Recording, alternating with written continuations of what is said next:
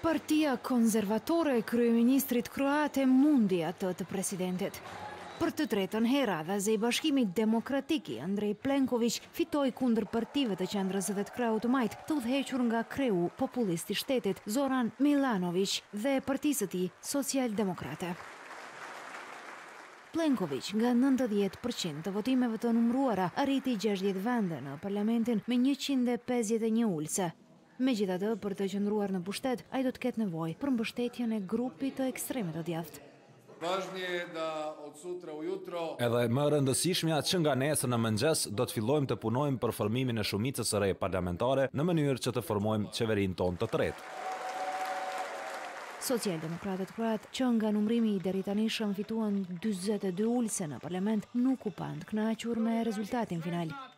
Ovi rezultati. Këto rezultate sigurisht nuk janë ashtu siç i donim të gjithë, por gjithashtu ato treguan se dy të tretat e kroatëve duan ndryshimin. Dy të tretat e popullit kroat nuk janë të kënaqur me atë që po ndodh në vend dhe çfarë shohin rreth tyre. Lëvizja e ekstremit të djathtë për atdheun u rendit e treta me katërmbëdhjetë vende, duke u bërë subjekti kryesor i bisedimeve për qeverinë e ardhshme. Pjesëmarrja e votuesve ishte më shumë se pesëdhjetë për qind, një rekord që u rrit vetëm pak orë para mbylljes së votimit.